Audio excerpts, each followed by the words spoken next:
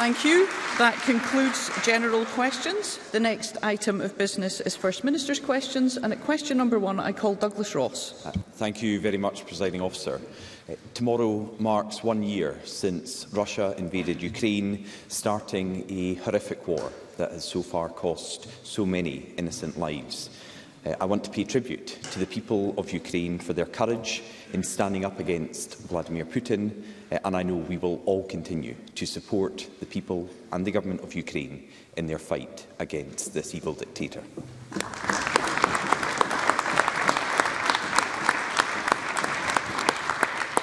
Since we were last in this chamber, uh, the First Minister has announced her resignation, and the front-runner to succeed her is Hamza Youssef. But during his time as Health Secretary, Scotland's NHS has lurched further and further into crisis. The Scottish Conservatives have received a Freedom of Information request and it's uncovered just how awful things have got at accident and emergency departments over the last few months. This new information, which we are publishing today, reveals that a patient in the Borders waited 49 hours to be treated in accident and emergency. Someone in Lanarkshire waited 54 hours, and a patient in Ayrshire waited 60 hours at accident and emergency. First Minister, that is two and a half days in accident and emergency. Surely no one can defend that. So doesn't this confirm that Hamza Yusuf isn't even up to the job he's got at the moment? First Minister. Firstly, Presiding officer, can I also take the opportunity uh, to mark uh, what uh, will be tomorrow the first anniversary of Russia's illegal, unprovoked invasion of Ukraine um, and to express my solidarity, uh, the Scottish Government's continuing solidarity and I'm sure the solidarity of everyone in Scotland with the people of Ukraine as they continue to defend and protect uh, their sovereignty, their territorial integrity yeah and their independence. Um, Parliament uh, this afternoon will uh, debate this issue. This evening I will host uh, a reception in Butte House for Ukrainians in Scotland and our thoughts uh, remain with them at this difficult time for them and their country. Um, on the issues of the National Health Service, uh, firstly, I, I should say it is, of course, for uh, the members of my party to elect uh, a new leader uh, of the SNP um, and uh, effectively a new uh, First Minister for Scotland, subject to approval of this uh, Parliament. But can I say in relation uh, to the Health Secretary, uh, he is the only Health Secretary anywhere in the UK that has managed to avoid a single day of strikes in the National Health Service over this period. Secondly, notwithstanding the very significant challenges in accident Thank you. and emergency. Thank you. I would be grateful, members, if we could hear the First Minister. Thank you. Uh, I, I can understand why the Conservatives are feeling uncomfortable. Uh, of course, the Conservative government in England has not managed to avoid strikes in the National Health Service there. They also They also get uncomfortable uh, when they hear me point out again uh, that despite the very significant challenges in our National Health Service, which I'll come on to in a moment, uh, Scotland's accident and emergency departments remain the best performing anywhere in the UK. And if I may say to the Health Secretary, that's not down to him, that's down to the hard work of staff across our National Health Service each and every single day. But our health service faces significant issues. We see that in the Audit Scotland report published today. But we also see in that Audit Scotland report important context that, of course, Douglas Ross always seeks to deny. Uh, so let me quote from it. Page 7. The pandemic continues to affect the delivery of NHS services. To listen to Douglas Ross and others, uh, you would be forgiven for thinking the pandemic hadn't even happened. Uh, secondly, Scotland's NHS is not alone in facing these issues. Uh, many of the factors contributing to the extremely difficult situation facing the NHS in Scotland are not specific to health services and many are not within the control of the Scottish Government. Uh, notwithstanding that, we continue to support our health service to ensure record funding, record staffing, record pay deal for Agenda for Change staff in Scotland and progress in reducing the longest waits in our National Health Service. Douglas Ross.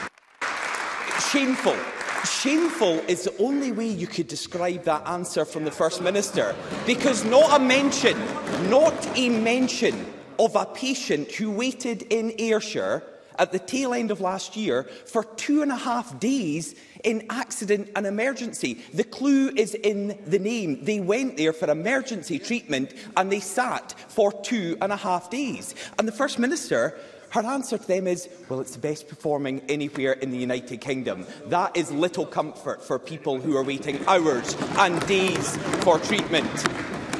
And the First Minister might not have noticed, but when I sat down raising these shocking statistics, Hamza Youssef smiled and smirked. The Health Secretary thinks it's funny that people are waiting for days to be seen in A&E in Scotland. And, the First Minister mentioned and quoted from the NHS uh, eh, Audit Scotland report into NHS. Let's remember, BMA Scotland said of the report this morning, it is damning of the state of the NHS currently. The report outlines that Nicola Sturgeon's chosen successor won't meet NHS job targets. It says performance declined further in 2022.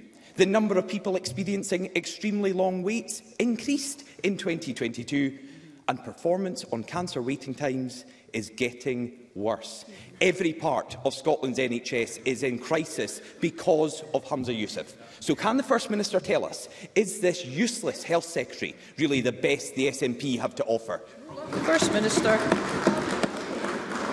Well, in relation to uh, individual cases, it is always unacceptable if someone waits too long for treatment in the National Health Service. Um, and at the tail end of last year, which of course uh, was Douglas Ross's phrase, uh, that was during the winter peak of pressure. Since then, in accident emergencies, uh, there is still considerable progress to be made, uh, let me stress that, but we've seen 8-hour and 12-hour waits uh, reduce, um, and we continue to support our accident emergency departments uh, in further progress. Uh, we are also uh, seeing, uh, Douglas Ross mentioned recruitment, uh, we have record numbers of staff in our NHS right now since this government took office. Uh, we have increased NHS staffing by 28,800 uh, people within the National Health Service. We've got higher staffing per head of population than in England or other parts of the UK. Uh, we've got funding that has doubled in our National Health Service. We've got higher funding proportionately uh, than anywhere else in the UK, to the tune proportionately of about £1.8 billion, equivalent to 44,000 nurses in our National Health Service. And yes, we have significant work to do to reduce waiting times. Uh, we are focused uh, firstly on the longest waits and we've seen significant progress in reducing the longest waits. Uh, but the reason uh, I, I did make the comparison and do make the comparison with other parts of the UK is because Douglas Ross stands here and tells us uh, and asks people to believe that these problems are unique to Scotland yeah. uh, and somehow down uh, to the Health Secretary in Scotland. And that's where the Audit Scotland uh, report is instructive because it says uh, that these issues are not unique to Scotland. I'm quoting from page 7. Scotland's NHS is not alone in facing these issues, and many of the factors are out with the control of the Scottish uh, Government. So we will continue to do our job, working with and supporting the National Health Service, and we will do that uh, despite Douglas Ross's determination to turn it into a political weapon, which I think we've just seen all too clearly. Douglas Ross. Wow. Wow. Opposition MSPs raising cases of people waiting two and a half days in A&E in Scotland is somehow a political weapon. No, it's not. It's the reality of people across Scotland just now. And the First Minister loves to make this comparison between Scotland and the rest of the UK. Let's just remember, the UK Statistics Authority said Public Health Scotland's figures and the statistics Nicola Sturgeon uses for the comparison can be misleading for patients. Misleading is what the UK Statistics Authority said. Now, we know that Hamza Youssef uh, released a recovery plan that everybody, everybody could see was just a flimsy pamphlet. The First Minister has now quoted page 7 twice of the Audit Scotland report. Let's go a bit further. I've looked through the whole report. The Audit Scotland report says of Hamza Youssef's recovery plan, it lacked detailed actions. They said he didn't do detailed and robust modelling. He didn't, and this is a quote, engage fully with NHS boards. And information on key patient aims is missing information on key patient aims is missing. Hamza Yusuf have made the crisis in Scotland's health service much worse. First Minister, why should a health secretary who has failed our NHS now get to fail the whole of Scotland? First Minister. Well, firstly, I, I didn't suggest that any MSP uh, raising patient experience uh, was using it as a political weapon. Uh, what I said, and what I will say again, is trying to suggest that these issues are unique to Scotland's NHS, is seeking to use our NHS as a political weapon, and to coin uh, a phrase of Douglas Ross, presiding officer, I do think that is shameful on the part of the Conservatives. on the recovery plan, let, let us look at the progress, um, and it is the case uh, that we have considerable work still to do. But let's take uh, 8 and 12-hour A&E waits. Uh, I said earlier on these have dropped significantly since the peak over the winter period. Uh, eh, Eight-hour waits are down by 54.9%, 12-hour waits down by 61.6%. Uh, eh, that's because of the support we're giving to the NHS and the work of staff on the front line. Uh, look at waiting times targets uh, more generally. The numbers uh, waiting the longest for treatment have reduced by almost a quarter uh, for both inpatient and day case treatment and for outpatient treatment. Uh, so there are significant challenges, more significant than at any point in the history of the NHS, uh, eh, but we are supporting our NHS with record funding, record staffing and the wider support it needs to address these challenges, and that's what uh, this government will continue to do. Douglas Ross. Oh dear. Eight years ago, eight years ago, a failed SNP health secretary became First Minister. Now history looks like it's repeating itself.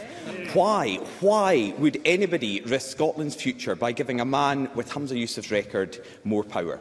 So let's, let's just look at his time in office while the First Minister gets more intel from the Deputy First Minister. I don't know what's coming there. So let's look at what Hamza Youssef has done uh, in office. He was Transport Minister who drove without a licence. He delayed the duelling of the E9 and he clapped like a seal when Nicola Sturgeon launched a ferry with painted on windows. He was Justice Secretary who did nothing while violent crime rose, got duped by a hoax video into calling on the police to investigate Rangers players and damaged free speech with his hate crime act. And now, now Hamza Youssef is the worst health secretary since devolution, but it looks like he's going to fail upwards. In any other line of work, Hamza Youssef would have been sacked, not promoted. Forget being SNP leader. Why is he even still in government? First Minister. Well, I don't know about anybody else, presiding officer, but Douglas Ross is sounding pretty scared yeah. of Hamza Youssef as I am sure he will be, as I am sure he will be scared of whoever is elected to succeed me as SNP leader. But Thank also, you, members. Thank you. He all. also referred to the fact I was Health Secretary uh, before becoming First Minister, as uh, I am extremely proud of, presiding officer. But let me just reflect on this fact. Eh, in the eight years that I have been First Minister, the people of Scotland have had no fewer than eight opportunities to cast a verdict on me, my party and my government. And in every single one of these eight opportunities, the people of Scotland have rejected the Conservatives and put their trust in me, my party and my government. And I have every confidence, presiding officer, that whoever succeeds me as leader of the SNP will continue that record of success. Thank you. Question number two, Anna Sarwar. Uh, can I start by echoing the comments of both Douglas Ross and Nicola Sturgeon on the ongoing war in Ukraine and send uh, the solidarity of everyone in my party with the people of Ukraine against the tyranny of Vladimir Putin? President Officer, Nicola Sturgeon and I disagree on many things, and it's fair to say we've had our fair share of issues over the years, and I'm sure it will have many more in the years to come. But I think it is important to note that she has been at the forefront of Scottish politics for 20 years. Um, she has served in government for 15 years and been First Minister for eight years. And in that time, she led our country through a global pandemic, a challenge for any leader anywhere in the world. And for that, she deserves our recognition and our respect.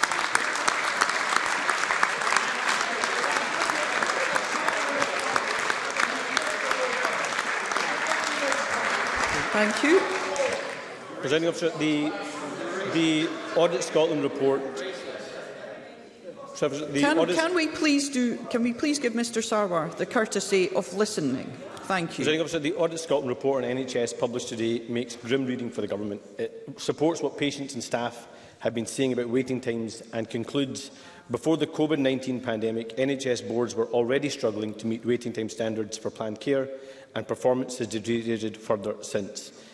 Uh, this report confirms that COVID didn't cause the problems, uh, that they were there before COVID, but of course exacerbated uh, by COVID. After nearly 16 years of SNP government, what went wrong? First Minister. Well, firstly, can I thank Anna Sarwar for his uh, generous comments. I uh, fear it might be damning him with faint praise to say he's got more grace uh, in his wee finger than all the Tories combined. Uh, so Although, although I'm sure, I'm sure he'll balance it out over the course of these exchanges. And finally, on that point, uh, presiding officer, I am definitely showing my age here.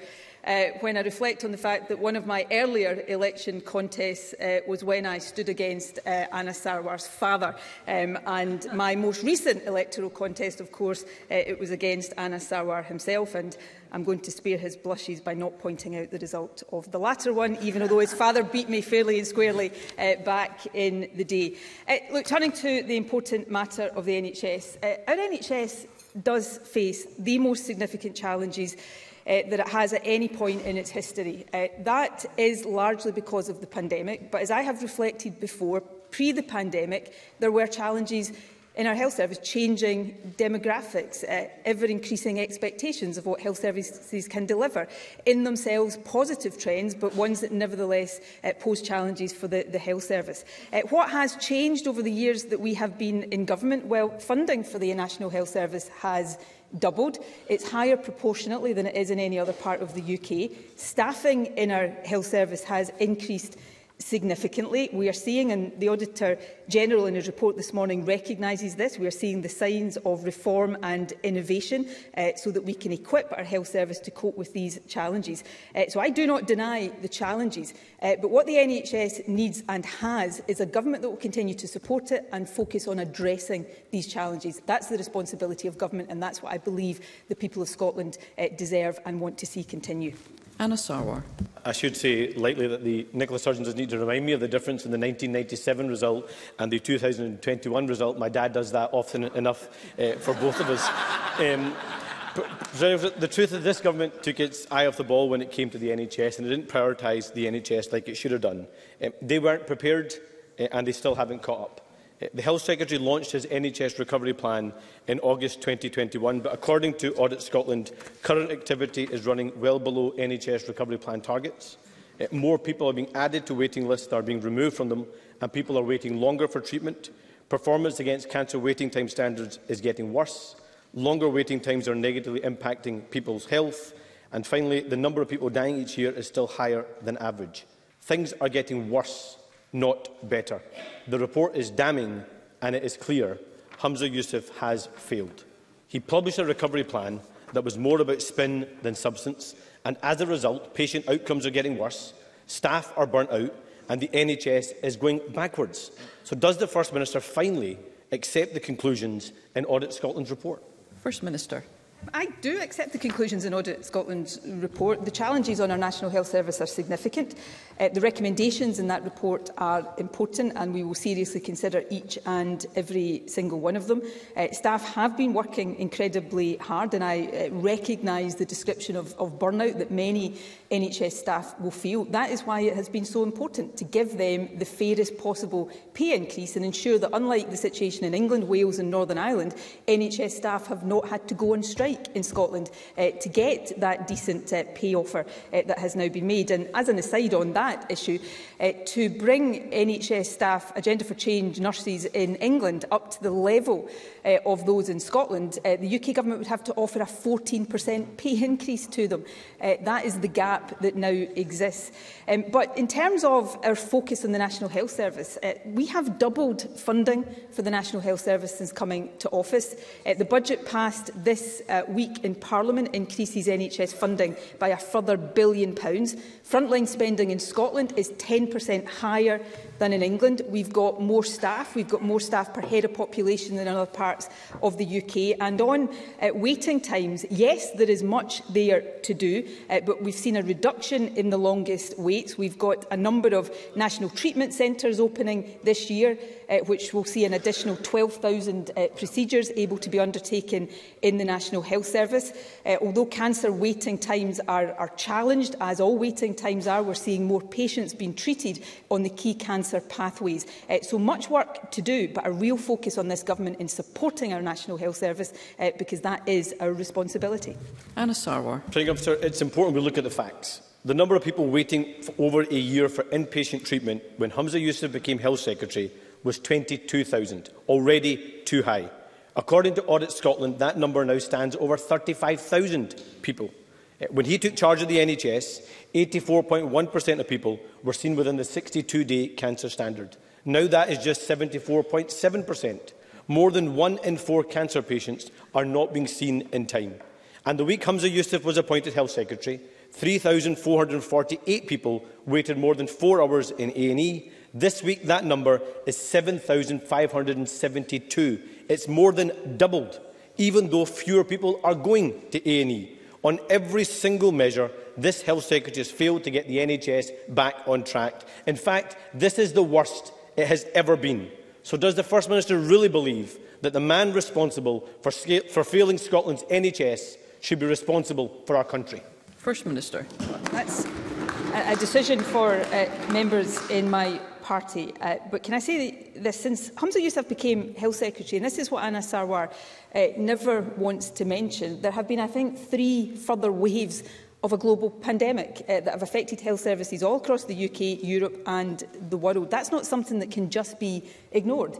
Uh, we, in common with other countries, have also uh, just come through one of the most challenging winters uh, that any of us can remember. That's the context uh, for the challenges in our National Health Service, context that is recognised and indeed uh, pointed out uh, by the Audit Scotland report today, which says, and I repeat, the pandemic continues to affect the delivery of NHS services. Scotland's NHS is not alone in facing these issues, and many of the factors uh, are not within the control of the Scottish Government.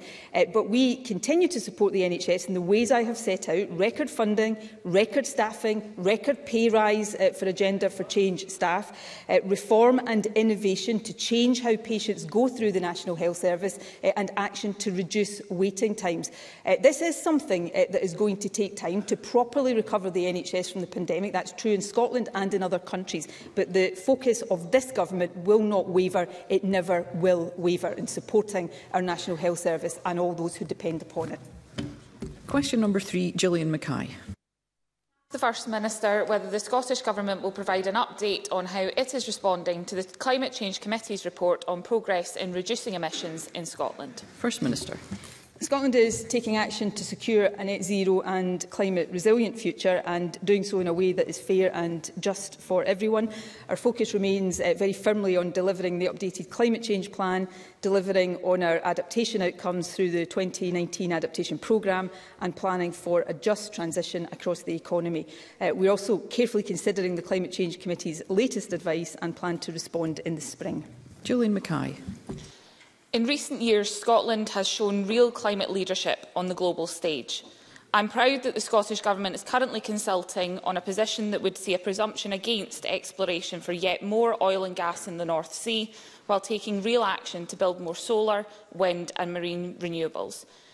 That action must add up to a plan that delivers on our climate commitments and delivers a just transition for our communities. Does the First Minister agree that Scotland's new climate plan will be one of the most important plans this government will ever produce? And will she join me in calling on all parties to rise to the challenge, come together and take the climate emergency seriously? First Minister. Uh, yes, I, I do agree. I think addressing the climate emergency for the sake of this generation, but also generations to come, uh, is a massive obligation. It is, I think, a moral obligation for all of us, and I hope everybody across this chamber uh, would have the same conviction in tackling climate change uh, as I do and as uh, the government uh, does.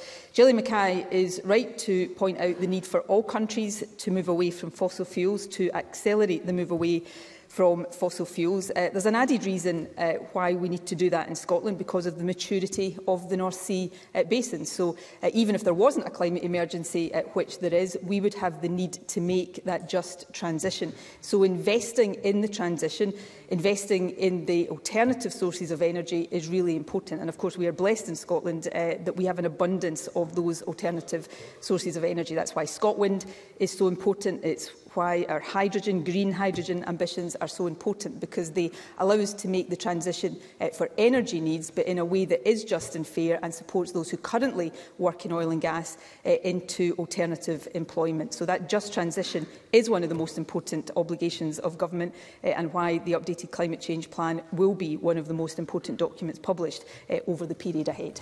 Morris Golden. Thank you, President Officer. Creating a circular economy is a key component in reducing emissions. A series of reports by Circle Economy assess the circularity metric of different countries. The Netherlands scored almost 25%, Northern Ireland almost 8%, and after 16 years of SNP rule, Scotland came last with just 1.3%. Why? First Minister. Well, look, there's many initiatives that we are taking to make our economy uh, more circular, to, to reduce waste as well, and it's important that we continue with those. But we have much, much more to do. Uh, that's why we're committed to a circular economy bill. But the Conservatives would be more credible uh, on these issues if they didn't, in a very knee-jerk uh, way, oppose everything that we no. bring forward to try to improve performance around the circular economy, like deposit return scheme, uh, for example. Uh, so, so let us focus on what we need to do better, uh, but let's try and find a bit of consensus uh, in order that the country can do exactly that and live up to that obligation that all of us have. Question number four, Fiona Hislop. To ask the First Minister what the Scottish Government... Excuse me a moment, Ms Hislop. Can we have Ms Hislop's microphone? Thank you. Thank you, President Officer. To ask the First Minister what the Scottish Government's position is on the future role of women in driving entrepreneurial activity and economic growth in light of the publication of the report Pathways – A New Approach for Women in Entrepreneurship. First Minister. Uh, on Monday, I had the pleasure of visiting the Roslyn Innovation Centre and was able to welcome uh, Anna Stewart and Mark Logan's outstanding report.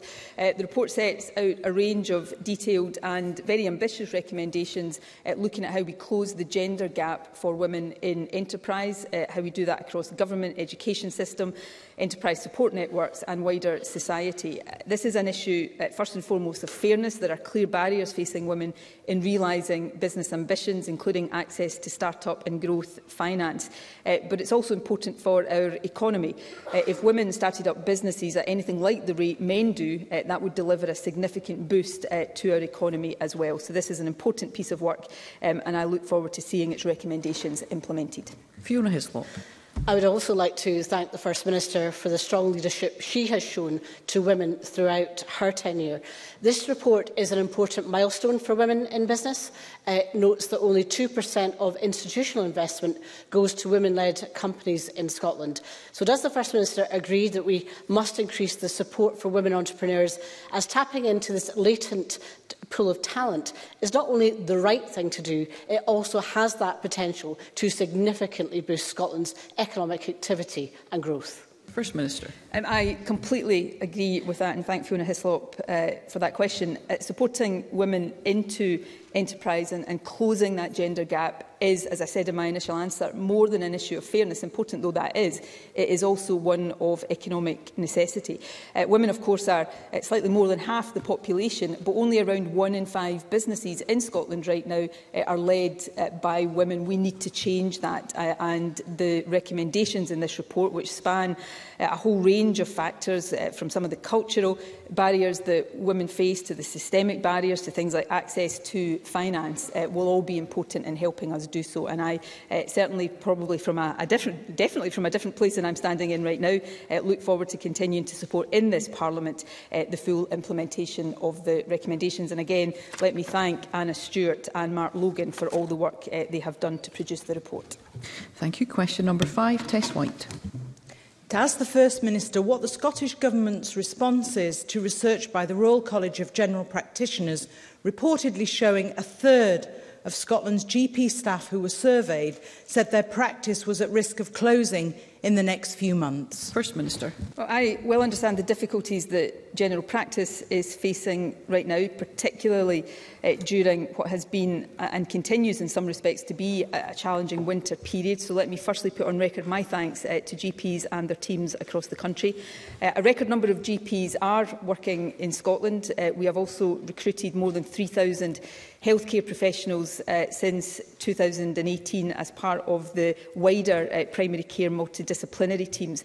Um, I very much value the work of the Royal College of General Practitioners. They are a very important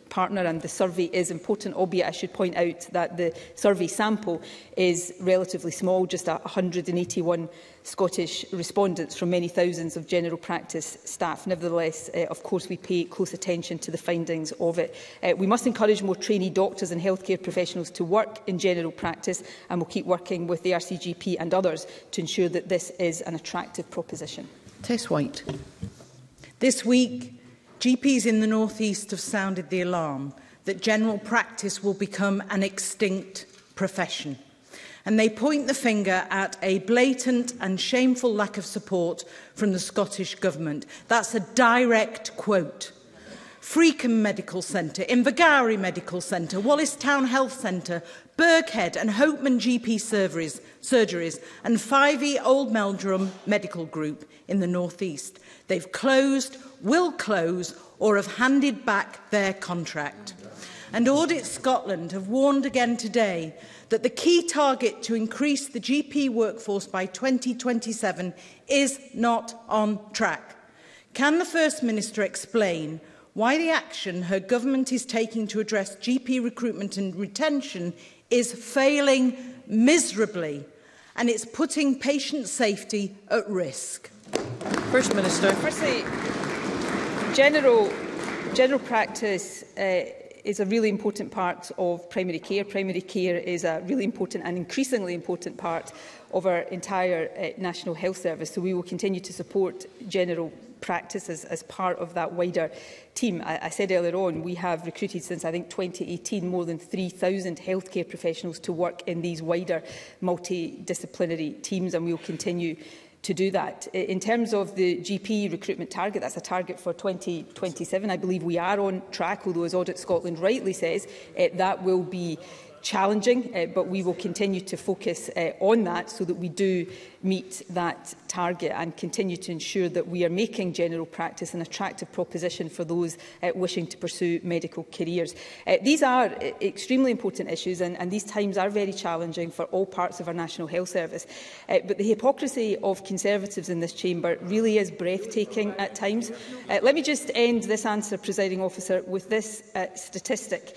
Uh, the number of GPs per 100,000 of the population in Scotland uh, is 95 uh, where the SNP is in office. Where the Conservatives uh, are in office in England, it's not 95, it's just 78. So yes, these are challenging times, uh, but this government uh, is showing and can evidence how we are showing support for general practice and for the NHS as a whole. Jackie Bailey.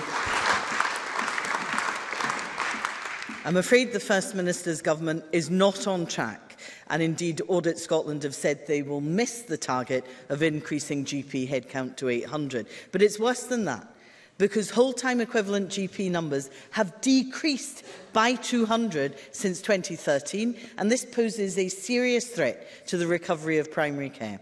At the same time, the number of patients registered with GPs has risen by over 300,000. Yet the SNP have this year cut £75 million pounds from primary care and GP budgets. Does the First Minister not agree that by slashing funding and failing to increase the number of GPs, the SNP are compounding the crisis in primary care and ultimately failing GPs and their patients. First Minister. Uh, no, I, I don't agree with that. I do agree these are extremely challenging times for GPs uh, and for everybody who works in our National Health Service. Uh, the target in terms of GP recruitment is a target for 2027. Of course, we will have to focus and work uh, to meet that. Uh, with the greatest of respect to Audit Scotland, and I uh, take everything they say very seriously. I'm not sure anybody can look to 2027 and predict uh, what is going to happen. They rightly point out that it will be challenging, uh, but it is important that we remain on track. In terms of uh, eh, GPs, we have seen uh, GP headcount increasing already uh, by 277. Uh, we've seen the wider multidisciplinary teams increase by more than 3,000. Uh, and of course, that is increasingly important because GPs rely on other health professionals to help them do the excellent excellent job they do. And come back to the last point I made uh, in response to the previous question, we have more GPs uh, proportionately uh, than other parts of the UK. I mentioned England earlier on. We've also got more uh, than Labour-run uh, Wales uh, per head of population and more than in Northern Ireland. So much work to do, uh, but we do it in Scotland from a position of relative strength. Question number six, Martin Whitfield.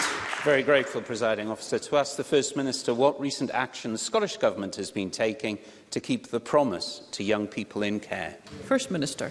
It is the ambition of this Government that every child in Scotland grows up uh, loved, safe and respected so that they have the opportunity to reach their full potential regardless of the circumstances in which they are born. That's a commitment of this government and it is a personal commitment of mine uh, that I will take with me uh, as I leave this government uh, over the next few weeks. Uh, the budget that was passed on Tuesday commits almost £80 million pounds, uh, to the promise and £50 million pounds, uh, to the Whole Family Wellbeing Fund. Uh, back in December, we introduced the Children's Care and Justice Bill, uh, which seeks to put an end to under-18s in young offenders institutions and ensure that children who come into contact with the care and justice system are treated with trauma-informed and age-appropriate support. Uh, last Friday, I was delighted to visit East Renfrewshire to celebrate Care Day. Uh, I always value the opportunity to hear what matters uh, directly from children and young people across Scotland as we work together uh, to keep the promise, which, as I say, uh, is a commitment I hold personally as well as for the time being as First Minister. Martin Whitfield. I'm very grateful to the First Minister for that answer, but as she remits her office, many in the care sector are deeply concerned as to whether the government will follow through with its pledge to uphold the promise, and I absolutely welcome the First Minister's personal assurance that this for her will be a lifelong commitment. But after nearly two years since the launch, and with only three years to go, there are serious questions about progress. So would the First Minister agree that any failure to deliver the promise will be nothing less than an abject betrayal of some of the most vulnerable children in our society? And will it be herself as First Minister or her successor who would be held responsible for that?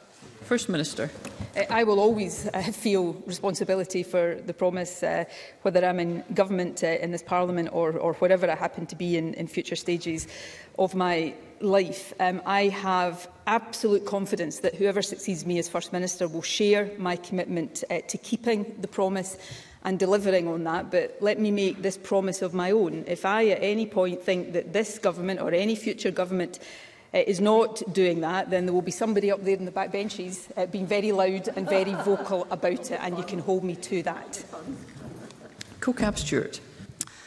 Uh, I welcome the Scottish Government's ongoing commitment to keeping the promise to our care experienced young people. Can I ask the First Minister how next year's budget allocation of the £50 million that she mentioned for the whole family wellbeing programme will indeed support families that are in need? First Minister. The Whole Family Wellbeing Fund is really important and something I am eh, extremely committed to and will want to see uh, delivered and, and continue to be delivered. We talk about young people in care and it's really important that any young person uh, in care is loved and supported and is safe and secure and nurtured. Uh, but one of our biggest responsibilities is to try to prevent the need for young people uh, to go into care by supporting families and keeping families together where we can. Uh, that's the, the purpose and the objective of the Whole Family Wellbeing Fund, to transform services so that families can access support they need when uh, they need it and in the way that they need it. And when I was in East Renfrewshire on Friday, I spoke to uh, one mother in particular who told me uh, about the importance of that early intervention uh, approach in ensuring uh, that her daughter was able to stay with her and didn't have to go into care. So it's going to focus on uh, the system changes required to shift investment towards early intervention and prevention, uh, which is a critical part of how we keep the promise in practice. The 50 million investment in this year's budget uh, includes £32 million pounds provided directly to Children's Service Planning Partnerships to support uh, work at a local level and further details of the programme proposals uh, will be confirmed in due course. Um, many things have been important to me uh, over my years as First Minister and I'm sure I'll get opportunity to speak about some of that over the next few weeks. Few, if anything, uh, of these things has been more important to me than the promise uh, to care experienced young people. Our society should be judged on how we care for and love the most vulnerable children position uh, that we have. Um, and I think this Parliament as a whole, not just this government, uh, should be committed uh, to ensuring that every young person is loved and nurtured. And if we do that, uh, then we'll have something genuinely to be really proud of. Ross McCall. Uh, thank you, and I note the First Minister's personal commitment. Uh, Fiona MacLean of The Promise said, I quote, For so many care experienced children, young people and care experienced adults, their lives won't have improved over the last two years and things will have been really, really hard and may have even gotten worse.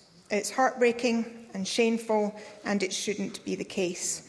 So does the First Minister agree that two years into the promise, it is simply unacceptable that the lives of care experienced people are still no better? Yeah. First Minister. I I, I, can I thank the, the member for a question? I'm, I'm not sure, forgive me if I'm if I'm getting this wrong, I'm not sure if she was referring to Fiona Duncan uh, of The Promise. Um, and Fiona has said many things, done uh, fantastic work uh, with the care review and, and now with The Promise. And I know uh, will be somebody uh, who seeks to hold all policy makers and, and government ministers to account on this.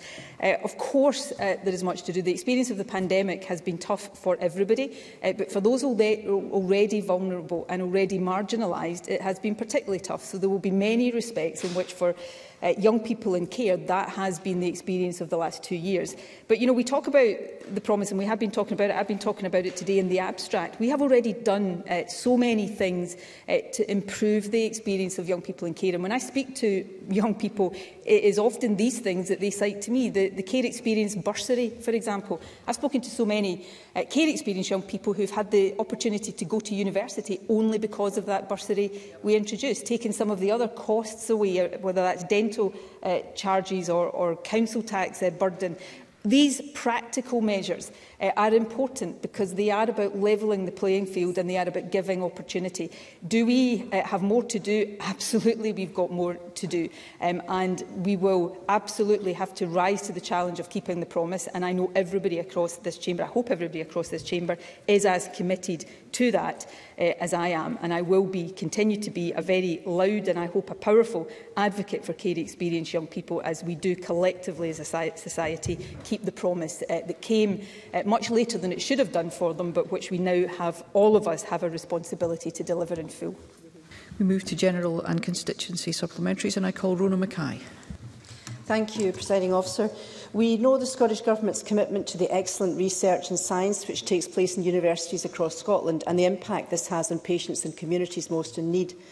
Given Cancer Research UK's decision to withdraw funding from the administrative base of Scotland's only clinical trial unit, the Beatson Institute in my constituency, can I ask the First Minister whether the new cancer strategy will reflect the importance of place-based research in addressing regional inequality in cancer in Scotland, particularly in the west of Scotland? First Minister.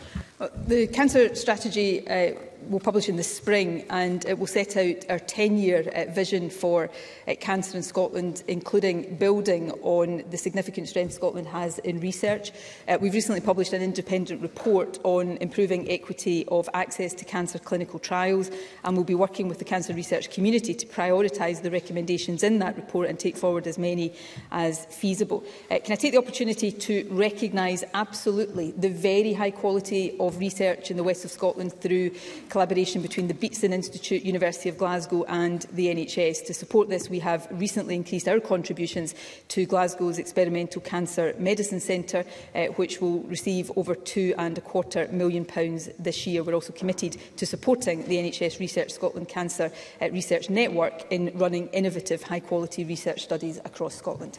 Sue Webber. First Minister, paediatric audiology services in NH Lothian, NHS Lothian have well-documented issues. Constituents of mine have a four-year-old daughter who suffers from progressive hearing loss and has been waiting over 20 weeks for an assessment at the Paediatric Audiology Service at Edinburgh Sick Kids. To my dismay, the family have now been told they must wait a further 11 months for any assessment, with their daughter currently 778th on the waiting list. I hope that is not too uncomfortable for either the First Minister or the Cabinet Secretary to hear. With progressive hearing loss, a quicker assessment can mean a much better outcome and life for Annika and other children like her. What will the First Minister say to Annika and her family while they wait and wait for what would be almost one quarter of Annika's life? First Minister. In relation to Annika's uh, case, I would be, uh, of course, very willing to look into the particular circumstances of that. Uh, I don't want to see any child uh, waiting that length of time uh, for access to uh, care and treatment that uh, the member is right to say is so important to uh, the, their quality of life. Uh, more generally, there have been, uh, as alluded to, issues uh, with the service uh, in Lothian uh, and the recommendations that uh, came uh, from some of those issues, the vast majority of those have already been accepted and completed. Uh, and we'll continue to work with NHS Lothian to ensure the quality of service uh, that everybody uh, who relies on it has a right to expect. But on the individual case, of course, uh, I will be willing to look into that if the details can be provided to my office. Sarah Boyack. Thank you, Presiding Officer. The First Minister will be aware of reports today that the projected costs of the new Edinburgh Eye Pavilion have jumped by £10.5 million to £123 million.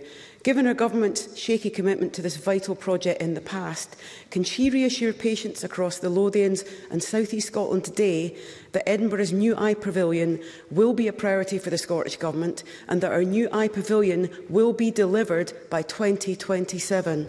First Minister. I gave that commitment, uh, I think, during the, the last Scottish election. I'm happy to repeat it uh, today. Uh, the commitment of this government It uh, is not shaky, it is rock solid. In terms of construction cost right now, obviously the business case for that will be interrogated as is uh, normal uh, for all business cases. We are seeing inflation in the cost of construction right now, which is impacting on the cost of many capital projects. Uh, but we have a strong capital programme uh, in the NHS and more generally, and we are committed to delivering it. Beatrice Wishart. Thank you, Presiding Officer. Strike action across the Highlands and Islands network has seen airports, including Sumbra, closed since Tuesday Shetland patients with hospital appointments on the Scottish mainland this week have had to have these rearranged, resulting in delays to treatment and using up precious time and resource within the NHS. High Al is wholly owned by Scottish ministers, so what is the First Minister going to do to secure a resolution and end this disruption to what are lifeline air services? First Minister. Well, can I answer that question briefly in, in two parts? Firstly, in relation to patients uh, whose treatment has been delayed uh, because uh, of this industrial action. Um, I know health boards will be uh, working to ensure uh, that any delays are minimised. Uh, secondly, there is uh, dialogue ongoing to resolve uh, the underlying issue, and I would expect HIAL uh, to do everything possible to reach a resolution uh, to ensure that any further disruption is hopefully avoided completely, uh, but certainly minimised. Thank you. That concludes First Minister's questions. The next item of business is a member's business debate in the name of Alex Cole Hamilton, and there'll be a short suspension now to allow those leaving the chamber and public gallery to do so before the debate begins.